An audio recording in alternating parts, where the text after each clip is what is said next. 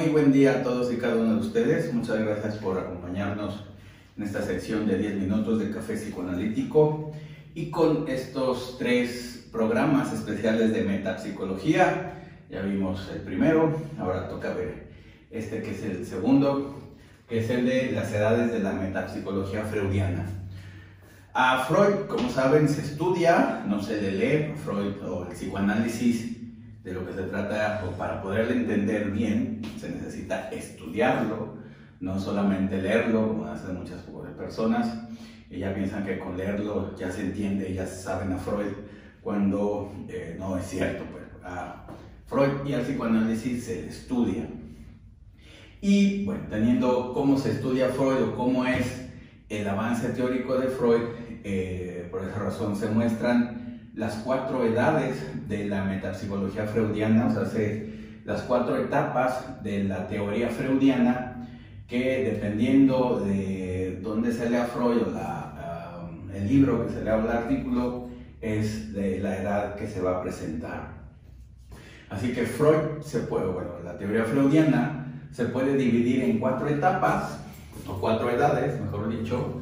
La primera edad que va de, 1900 en adelante, la segunda edad de 1914, la tercera edad de 1920 y la cuarta edad de 1924 hasta que muere Freud.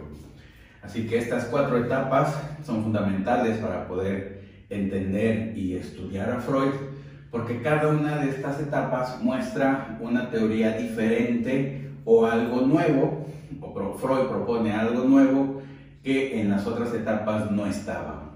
Por esa razón la importancia de saber esta cronología para poder entender a Freud y para poder comprender o buscar qué tema queremos en la teoría freudiana. La primera edad, que va de 1900, Freud tiene 44 años, aquí nomás para tener el referente. Aquí se va a hablar de la primera tópica y de las, la primera teoría de las pulsiones, que son las pulsiones yoicas y las pulsiones sexuales. La primera tópica, como ya saben, el, el inconsciente, consciente y el preconsciente. En 1900, que inicia esta primera edad, va a estar el libro de la interpretación de los sueños, por supuesto, en 1901 aparece el segundo libro freudiano, que es la psicopatología de la vida cotidiana, el famoso PVC, como se llama. En 1905 bueno, aparece tres ensayos sobre la teoría sexual, lo que entendemos este, como las, las etapas eh, freudianas. También aparece el libro del chiste y su relación con el inconsciente y el caso Dora. Eh, el caso Dora, ¿para qué sirvió? Para entender, digamos, toda esta parte de la, para comprobar cómo se utilizaba en la terapia todo, es, toda la teoría que Freud ya había descrito y, y, escrito. En 1909 aparece el caso Juanito y el caso del hombre de las ratas para poder comprobar lo que son los tres ensayos sobre teoría sexual. El caso Dora, si se acuerdan, los dos eh, sueños, la interpretación de los sueños, hoy está para entender bien lo que era la, y cómo se utilizaban los sueños dentro de la terapia y en la interpretación de los sueños, por supuesto.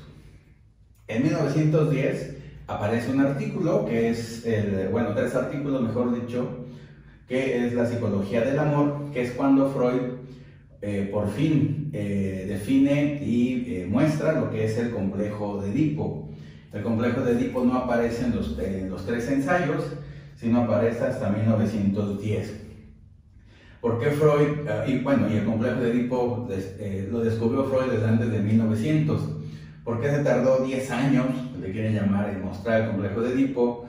Porque para Freud tenía, digamos, como miedo de mostrar semejante revelación, semejante descubrimiento y que no fuera tomado, digamos así, a bien, que de todos modos causó una revolución, por supuesto, ya lo sabemos, este, y por esa razón se tardó 10 años en mostrarlo al público, por supuesto, ya que sabían algo del inconsciente y ya sabían las, eh, lo que eran las pulsiones y todo eso, pero es hasta esta, este año y este libro que aparece el complejo de Edipo como lo entendemos.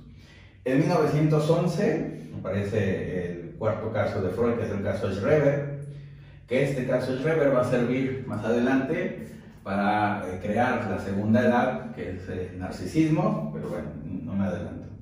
Y en 1911 también, aparte pues, del caso Schreber, van a aparecer los artículos de técnica psicoanalítica, todo este, todos los artículos como tal de, técnica, y también va a aparecer el artículo de principio de realidad y principio de placer.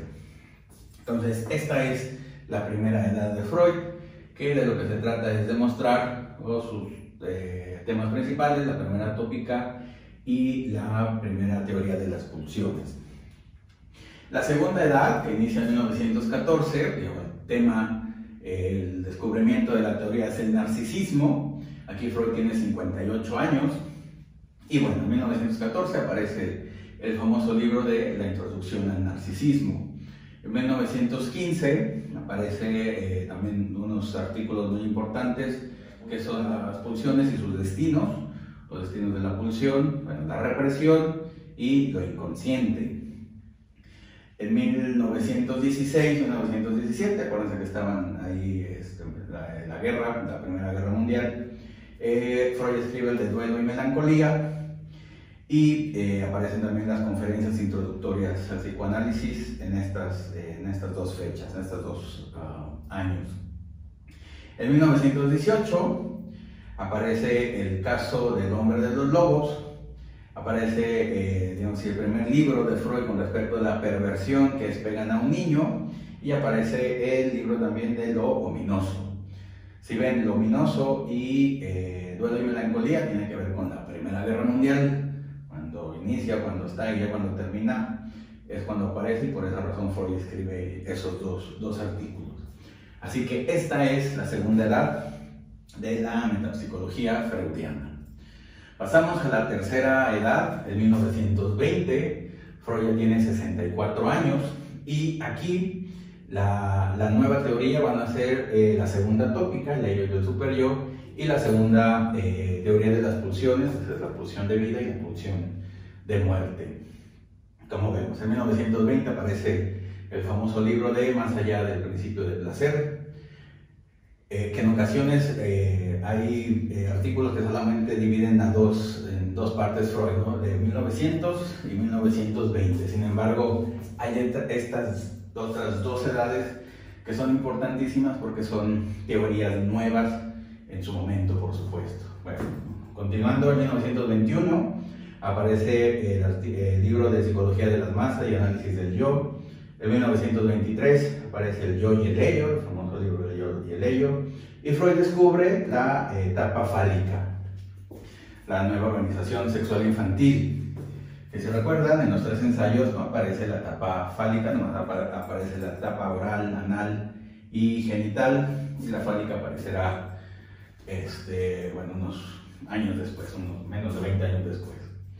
Y en 1924 también aparece el problema económico del masoquismo, también el segundo libro importante para comprender la perversión. Aquí está el primero, el segundo. Y la cuarta edad de la metapsicología freudiana eh, es de 1924, cuando Freud escribe, o el tema principal son la psicosis, o la psicosis y su técnica de qué hacer con los psicóticos en terapia. Por fin Freud se eh, atreve a eh, escribir sobre psicosis, no solamente sobre neurosis y perversión. Freud en 1924 tiene ya 68 años y bueno, escribe en 1924 Neurosis y psicosis, el sepultamiento del complejo de Edipo, pérdida de la realidad y de la neurosis y de la psicosis, la negación, por supuesto, en 1926 aparece el artículo, bueno, el libro de Inhibición, Síntoma y Angustia. Y aparece el tercer libro de perversión, que es el fetichismo. Ya tenemos los tres completos. En 1931 aparece el artículo sobre la sexualidad femenina, que habla del complejo de Edipo femenino, ya ahora sí, como lo entendemos, con sus diferencias eh, del complejo de Edipo masculino. En 1933 aparecen las nuevas conferencias, que son las cinco conferencias de, Freud, las nuevas cinco. Y en 1937 aparecen eh, bueno, los, los libros de, o los artículos, Análisis Terminable e Interminable y el de Construcciones en Psicoanálisis, donde también va a hablar sobre psicosis y donde va a mostrar la técnica eh, psicoanalítica con los psicóticos, qué hay que hacer con los psicóticos en terapia y cómo hay que bueno, interpretar y reconstruir los delirios y las alucinaciones. En 1938 aparece el esquema y la sesión del yo, bueno, ya como sus últimos artículos de Freud. Entonces, estas son las cuatro edades de la metapsicología freudiana, las cuatro etapas de la teoría freudiana, como le quieran llamar, y por esa razón la importancia de saber eh, en qué fecha o qué edad representa o está cada, cada artículo, cada libro, y entender y comprender más lo que es tanto el psicoanálisis como la teoría eh, de Sigmund Freud.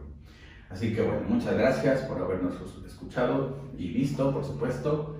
Y nos vemos, eh, todavía falta un tema más sobre metapsicología, que sería ya el tercero, este es el segundo. Y nos vemos la siguiente vez. Aquí se despide el doctor Gerardo, que tengan un muy buen día y gracias por estar con nosotros y los invitamos a compartir nuestro video y a darle like y a dejar ahí sus comentarios. Gracias y visiten nuestras redes sociales. Gracias.